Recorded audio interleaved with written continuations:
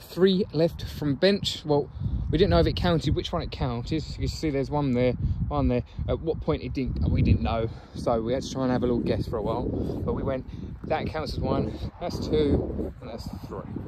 So we ended up going here. It wasn't too bad. It'd be a lot easier during the day, but well, with a flashlight, it still was fine. that's very sharp. Go the other way.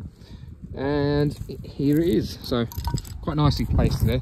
Don't know how someone's not found it just being there, but can't complain, makes it easier.